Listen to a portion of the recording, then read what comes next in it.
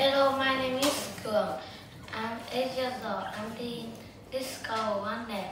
Today I talk about my neighborhood. The first place is the supermarket. I go there buy food. I go two minutes. I buy something I need and have many things. It's noisy. The second place is the bakery. Go there by foot. Go five minutes and many guests and go bakery on my birthday. The third place is library. Go there on foot.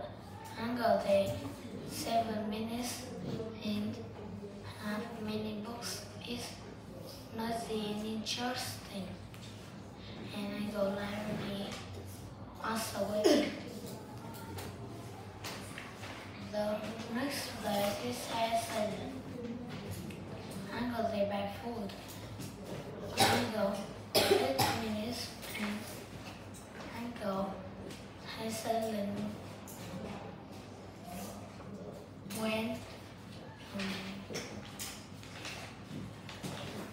um, my hair is long. The last place, dark star. I go on by foot. Um, I go nine minutes and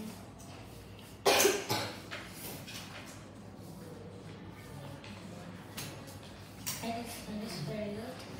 I go medicine. My mom go medicine, buy medicine you for watching. Goodbye.